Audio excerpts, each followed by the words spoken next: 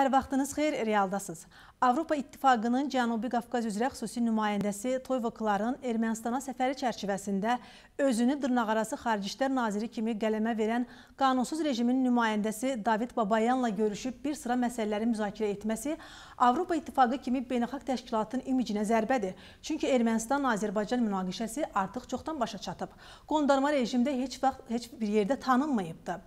Bəs e, belə bir məqamda Avropa İttifaqının Cənubi Qafqaz üzrə xüsusi nümayəndəsinin bu məsələləri müzakirə etməsinin səbəbi nə idi? Heç Yerevanın özündə belə ciddi qəbul olunmayan qondarma rejim dırnaqarası baş diplomatının görüşməsi İttifaqın xüsusi nümayəndəsinin nəyinə lazım idi? Mövzunu millət vəkili Avropa İttifaqı Azərbaycan Parlament Əməkdaşlıq Komitəsinin üzvü Razi Nurullayev ilə birlikdə müzakirə edəcəyik. Xoş gördük Razi müəllim. Xoş gördük.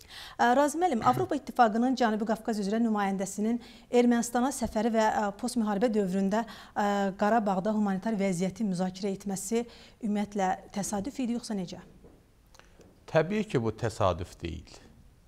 Əgər doğrudan da Avropa İttifaqı, ATƏT, BMT və digər münaqişələrin həlli ilə məşğul olan beynəlxalq təşkilatlar zamanında qeyri-standart mövqe tutmasaydılar, ikili standartlar tətbiq etməsəydilər və ermənilərin ayağının altına daş qoymasaydılar, münaqişə də 30 il sürməzdi və Azərbaycanın 1 milyona yaxın köçkünü və qaçqını da öz evlərinə qayıdardı. Əgər onlar bu cür qeyri-standart və ədalətsiz mövqe tutmasaydılar, heç ermənilər də həmin o əraziləri o şəkildə dağıdıb xarabazara çevirməzdilər. Bu gün Avropa İttifaqının da Cənubi Qafqaz üzrə xüsusi nümayəndəsi yaxşı olar ki, birinci növbədə Azərbaycanın işğaldan azad olunmuş ərazilərinə gedib orada olan dağıntıları öz gözü ilə görərdi. Biz e, ora baxanda bu filmlərdə görmüşük apokalipsis filmləri və yaxud Amerikanın nüvə silahından sonra dağıdılmış Hollywood filmləri. Baxırsan ki, eyni vəziyyətdir. Yəni bəs buna niyə susqun qalır? Və Azərbaycan münaqişənin bir tərəfi olub. Azərbaycan ərazi bütövlüyü Avropa İttifaqı tərəfindən də tanınır, BMT tərəfindən tanınır, dünya tərəfindən tanınır və Azərbaycan da o hüququndan istifadə edərək ərazi bütövlüyünü təmin edib. Artıq burada təzədən bu köhnə qaysağı qanadıb yara qanatmağa nə bir lüzum var? Münaqişə yoxdur və yenidən o qondarma rejimin qondarma deyək ki, bir o e, dırnaqarası naziri, dırnaqarası bir e, insanı olan David Babayanla görüş keçirməsi bu əməlli başda Azərbaycana qarşı hörmətsizlik etmək, e, ermənilərin ayağının altına daş qoymaq və belə deyək ki, üzr istəyirəm, ağızlarına bir sümük atmaq anlamına gəlir.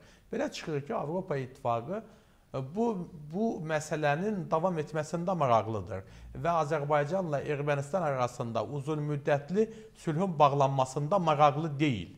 Bax bu çox düşündürücü bir məsələdir və mən düşünürəm ki, Azərbaycanın hakimiyyət orqanları, Xarici İşlər Nazirliyi, e, müvafiq səfirliklər, Azərbaycan cəmiyyəti, Azərbaycanın siyasi partiyaları bununla bağlı çox kəskin mövqe sərgiləyir və düz də edirlər. Çünki biz onlara qarşı heç bir dözüm göstərməməliyik. Ümumiyyətlə e, Dağlıq Qarabağ deyilən Dağlıq Qarabağla bağlı münaqişə yoxdur və biz artıq buna Dağlıq Qarabağ da demirik. Bu Azərbaycanın Qarabağ bölgəsidir artıq. Heç bir qondarma rejimlə söhbətdən söhbət gedə bilməz, statusdan söhbət gedə bilməz və onlar Azərbaycanın qanunvericiliyinə, Azərbaycanın e, ərazi bütövlüyünə bu şəkildə hörmətsizlik edərək onlarla görüşməsi və bu məsələni bu şəkildə qaşması, problem yaratması yol verilməzdir və Azərbaycan da onlara qarşı adekvat addımını atmalıdır. Və mənə belə gəlir ki, onların bu addımları həm də ona dəlalət edir ki, Azərbaycan sonunda e, demək həm e, ATƏT-in Minsk qrupundan imtina etmək tələbini ortaya qoyacaq mütləq şəkildə və digər ölkələrin də bu işə qarışmasını Azərbaycanın daxili işinə qarışdırması kimi qələmə verəcək və artıq belə bir münaqişənin olmadığını rəsmi şəkildə qeyd edərək yəqin ki, əgər onlar belə davam etsə, həm də danışıqlardan çəkilməlidir. Yəni biz e, ancaq və ancaq Azərbaycan ATƏT Minsk qrupunu o şəkildə saxlaya bilər. Onlarla ancaq və ancaq o halda oturub söhbət edə bilər ki, onlar Azərbaycanla Ermənistan arasında uzun müddətli sülh müqaviləsinin bağlanmasını müzakirə etsinlər. Bu da nə deməkdir? Bu da o deməkdir ki, həm də Ermənistan Azərbaycanın ərazi bütövlüyünü tanıyır. Dağlıq Qarabağla bağlı qondarma rejim daha heç bir yerdə adı çəkilmir və orada olan cinayətkarlar da Azərbaycana təhvil verilir. Yolu budur. Azərbaycan bu mövqeyindən də bir addım olsun kənara çəkilə bilməz və e, eyni zamanda indi onların e, narahat edən bəzən mən indi oxuyuram da onların o açıqlamalarını və bəyanatlarını ki, Azərbaycanın bu hərbi qənimətlər parkı ilə bağlı dizlərinə, bir dizlərinə döyürlər, bir sinələrinə döyürlər, sonra da başlarına daşla vururlar, az qalırlar özlərini öldürsünlər, özlərini qanlasınlar. Üzv istəyirəm bu xalqımızın dilində desək, az qalırlar özlərini lez valasınlar ki, niyə bu hərbi qənimətlər parkı açılıb və ermənilərin orada deyək ki, o mumiyadan olan e, əskərləri o şəkildə orada təqdim olunur və orada boş qalan erməni e, kaskaları var. Təbii ki, mən dünyanın müxtəlif ölkələrində görmüşəm.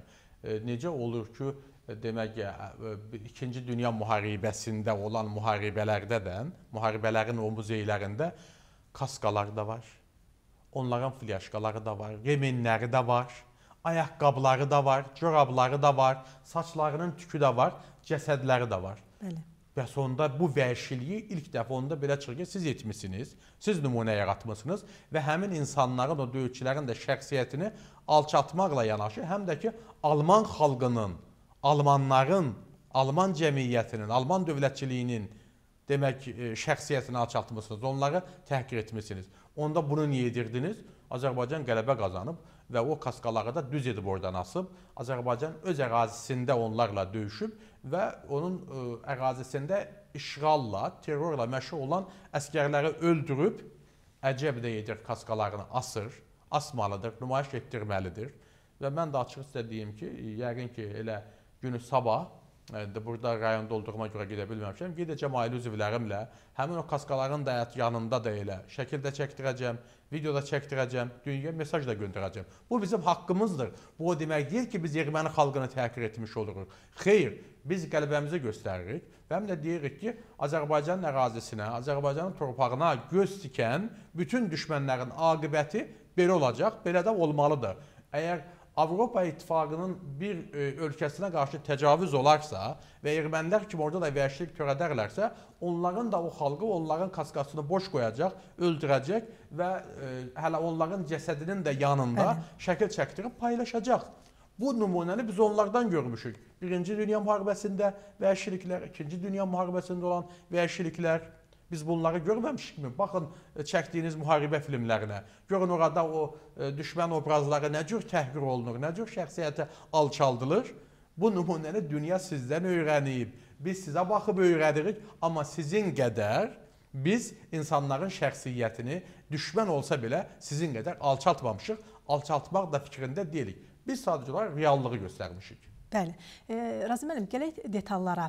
Ümumiyyətlə e, belə bir məlumat var ki, tərəflər arasında detallar o qədər də açıqlanmır, amma Ermənistan mətbuatında müəyyən bir ipucu verilir ki, e, ümumiyyətlə onların tərəflərin, yəni müzakirə etdiyi məsələlərdən də biri əsirlərin, yəni hərbi əsirlərin qaytarılması məsələsidir. Əslində biz deyirik ki, bizdə hərbi əsir yoxdur, e, onlar terrorçulardır.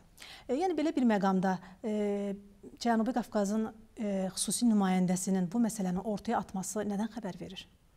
Bu nədən xəbər verəcək? O deməkdir ki, bunlar yenə də e, Azərbaycanın əlində olan, Azərbaycanı əlində olan imkanlardan, əlində olan dividendlərdən, əlində olan təzyiq vasitələrindən məhrum etməkdir. Ermənin, Ermənistanın əlini gücləndirməkdir. Ermənistanı aparılacaq danışıqlarda Ermənistanın mövqeyini gücləndirməkdir.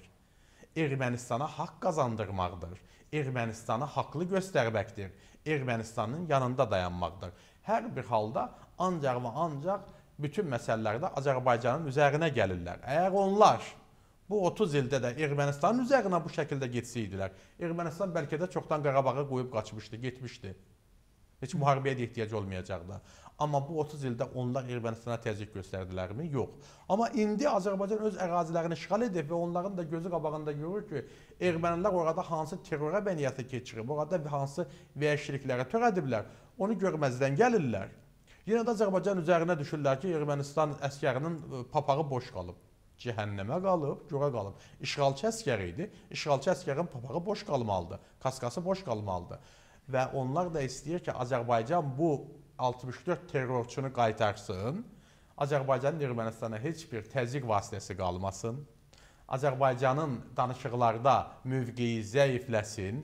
Ermənistanla mövqeyi bəlkə də biraz bərabərləşsin, Ermənistan da zəif olsun və Ermənistan Azərbaycana başlasın bir deyək ki, böyük-böyük danışmağa, tələblər irəli sürməyə. Azərbaycan o 64 əskəri bəlkə də hansı zamansa o orada onu Əskər də üzr istəyirəm, əskər deyil, onlar terrorçular. O terrorçunu Ermənistana verə bilər. O da danışıqlar prosesində ola bilər. Ermənistan qoy Azərbaycanın ərazi bütövlüyünü tanıya bilər. Qondarma rejim oradan rədd olub gedər. Ermənilər Azərbaycanın yurisdiksiyasını qəbul edərlər. Günahlarını boyunlarından alırlar və oradakı separatçı rejimin rəhbərlərini də David Babayan qarışıq, Artunyan qarışıq Azərbaycana təhvil verərlər. Azərbaycan Ermənistan da Azərbaycan ərazi bütövlüyünü tanıyıb və demək o onların dediyi o, o rejimdən də imtina edər. O zaman artıq danışıqlarda Azərbaycan Ermənistanın bu deyək ki, bu şəkildə e, xoş niyyətini görüb, dinc qonşuluq siyasətini görüb, eyni zamanda kommunikasiyalara açdığını görüb, Azərbaycanın qarşısında Azərbaycana qarşı etdiyi o cinayətlərə görə üzr istədiyini görüb, o zaman düşünə bilər ki, mən necə idim? Bəlkə də bunlardan bir neçəsini buraxım və yaxud danışaq görək e, bunlara da ki, müəyyən bir deyək ki, bir neçə il cəza ilə cəzalandıraq, ondan sonra bunları buraxaq. Çünki bunlar terrorçudur. Elə belə də bunları açıb buraxmaq olmaz ki, bir e, heyvanın bir deyək ki, tövlənin qapısını açırsan və buraxırsan bunları getsinlər çıxıb getsinlər. Bunlar terrorçudur. Terrorçunu Amerika Birləşmiş Ştatları terrorçuları həbs edəndə Guantanamo-da saxlayırdı. Çox ağır bir şəraitdə, çox ağır bir şəraitdə saxlayırdı. Onları elə açıb buraxırdı ki, gedin yenə də terrorla məşğul olun. Onun üçün də biz onları buraxa bilmərik. Əgər Ermənistanın bax bu cür ə, e, jestləri olarsa, o zaman bu demək ki, Azərbaycan da bununla bağlı hansısa bir tərzdə yüngülləşdirici düşünə bilər. Amma terrorçunu heç bir halda ə, buraxmaq olmaz. Və mənə belə gəlir ki, mən məsələn düşünürəm ki, e, başqa ölkələr olsaydı, Azərbaycan çox humanist davranır. Onların əlində olsaydı, onların bir neçəsi qaçır bahanəsi ilə güllələyərdilər, dünyaya nümayiş göstərərdilər. Və yaxud açıqcasına onları məhkəmələrdə e, demək ə, ittiham edib ömürlük həbs cəzasına və yaxud güllələnməyə məhkum edərdilər. Biz bunu Avropa İttifaqının da tarixində görmüşük, Amerikanın da tarixində görmüşük. Yəni biz belə götürəndə bütün dünya Yəni onlar öndə olublar qanunvericilikdə də. Biz qanunvericiliyi də bəzən onlardan öyrənmişik ki, köçürək, baxaq, görək. Bunlar çünki deyir ki, bizim qanunvericiliyimiz daha müqabildir, daha yaxşıdır, bizim demokratiyamız daha gözəldir, müharibə bizim aparmaq təcrübəmiz daha yaxşıdır. Biz onlardan baxıb öyrənmişik də. Biz onlardan görmüşük bunları. Onlar deyir, Amerikada terrorçuları tutub öldürürdü, güllələyirdi ya da ki, ömürlük həbsə məhkum edib onları ağır vəziyyətdə saxlayırdı. Eyni zamanda başqa ölkələrdə. Onun üçün də ancaq və ancaq Azərbaycan Ermənistanın və eyni zamanda beynəlxalq zəmanətin müqabilində onlarla bağlı hər hansı bir danışıqlarda iştirak edə bilər. Amma bu gün üçün o 64 terrorçunun nə buraxılması heç cür mümkün deyil. Onlar cinayətkardır. Onların ən yüngül cəzası güllələnməkdir. Onlar həyatdan məhrum edilməlidir. Çünki onlar Azərbaycanlı, orada Azərbaycan vətəndaşlarını öldürüblər, bizim hərbiçilərimizi öldürüblər. Biz də onun müqabilində onları öldürməliydik. Hər müharibənin tələbidir bu. Bu mənim tələbim deyil ki. Azərbaycan əslində onları girov götürüb. Çünki düşünür ki, Azərbaycan Ermənistan da hələ 1-ci Qarabağ müharibəsindən biz bilmirik nə qədər insanlara zülm eləyib, hansı padvallarda saxlayıblar, onlara hansı zülmlər ediblər, dırnaqlarını çıxarıblar, əllərini, ayaqlarını kəsiblər, cinayət törədiblər. Onun üçün də biz bu 64 nəfər lazımdır ki, bəlkə orada bizim də əskərlərimizi yenə də həbsdə saxlayırlar. Bizim bu Ermənistana bir təzyiq vasitəmizdir, amma biz yenə də çox xeyirxahlıq edirik. normal yaşayırlar, yeyirlər, içirlər, yaşayırlar. Amma onların o 64 nəfərin yaşam haqqı yoxdur. Onların yaşam haqqı yoxdur. Bəli, Razım müəllim, e, ümumiyyətlə danışıqlarda həm də e, Minsk qrupunun e, məsələsi gündəmə gətirilib. Necə düşünürsüz? Proseslərdə bundan sonra onların iştirakı nə qədər realdır? Onların iştirakı yalnız və yalnız bir halda mümkündür. Azərbaycan Respublikasının prezidenti İlham Əliyev də bir neçə dəfə qeyd edib ki, Minsk qrupu Biz Minsk qrupunun əvəzinə münaqişəni həll etmişik, BMT-nin əvəzinə münaqişəni həll etmişik. İndi onlar Azərbaycanla Ermənistan arasında uzun müddətli sülh müqaviləsinin bağlanması üçün təşəbbüs göstərsinlər, addımlar atsınlar. Biz buna hazırıq. Onlar Ermənistana təzyiq göstərsinlər, Ermənistanla danışıq aparsınlar ki, e, kommunikasiyalar açılsın. Münasibətlər bərpa olunsun. Münasibətlərin də bərpa olunması üçün onlar Ermənistanı inandırmalıdır ki, Azərbaycanın ərazi bütövlüyünü tanı və bu rejim də rədd olub gedir. Onların rolu bundan sonra bu ola bilər. Əgər buna razıdırlarsa, bunu istəyirlərsə, bununla bağlı şaparsınlar. Yox, gəlib təzədən Dağlıq Qarabağ münaqişəsi var deyə danışıqlara başlamaq istəyəcəklərsə, mən əminəm və nəinki əminəm, həm də bu bizim bir müxalifət partiyası kimi tələbimizdir. Azərbaycan bu danışıqlarda iştirak edə bilməz. Bu məsələ yoxdur. Çünki Dağlıq Qarabağ münaqişəsi artıq yoxdur. O halda ancaq uzun müddətli sülh danışıqları üçün onlar təşəbbüs göstərib demək vasitəçilik edə bilərlər. Aha. Avropa İttifaqının Cənubi Qafqaz üzrə nümayəndəsi postunu tutanlar ümumiyyətlə e, birinci dəfə deyil belə bir e, təşəbbüslə çıxış eləyirlər. Əgər xatırlayırsanızsa 2017-ci ildə də belə bir hal baş vermişdi və Almaniyalı Herbert Zerbe vardı və Yerevana getmişdi. Eyni təşəbbüslə çıxış eləmişdi. Ümumiyyətlə belə deyək də ittifaqın e, nümayəndələrinin Azərbaycana qarşı bu təpkisi sizcə nədən irəli gəlir? Yalnız bu e, Avropa İttifaqının təpkisi deyil. Avropa İttifaqına daxil olan ayrı-ayrı ölkələrin də Azərbaycana münasibəti Bəli. analojidir. E, digər ölkələrində e, və çox təəssüf edirəm ki, onların bu hərəkətləri biraz bilirsinizmi, biraz elə bil xristian təəssübkeşliyi kimi görünür. Çox ciddi şəkildə bu görünür. Biz əgər bir qloballaşma dövrü deyirik, ədalətli dövr deyirik, beynəlxalq hüquq deyirik, insan haqlarının bərabərliyi deyirik, insan haqlarının fundamental prinsiplərindən danışırıq, e, milliyyətindən, cinsindən, dinindən, statusundan, özünün rəngindən, dinindən, imanından asılı olmayaraq bütün insanlar bərabərdir bu yer planetində. Bunu danışırıq, kağızda da bunu təsbit ediblər və dünyaya da bununla bağlı dərs keçirlər. Amma sözdə, əm, ə, sözdə deyirlər, əməldə isə Ermənistanın yanında dayanırlar. Çünki e, mənə belə gəlir ki, artıq bu xristian təəssübkeşliyinə bənzəyir. Çünki onlar e, din qardaşları da demək olar onlara belə onlar hesab eləyirlər və mənə belə gəlir ki, bu yol verilməzdi. Elə Türkiyəyə qarşı münasibətdə də analoji e, demək addım atılıb, münasibət göstərilib. Bu yol verilməzdi. Mən bunu e, zərərli bir e, tendensiya hesab edirəm. Çünki əgər onlar Azərbaycana qarşı bu cür ədalətsiz mövqe tutacaqlarsa, onda belə çıxır ki, Azərbaycan da öz ətrafında olan müsəlman ölkələr Azərbaycana qarşı demək qahmar çıxırlar, onu müdafiə etməyə çalışırlar. Belə çıxır ki, müsəlmançılarla xristianlar arasında bir uçurum yaratmaq cəhdidir bu. Biz bunu heç zaman istəməmişik, istəmirik də.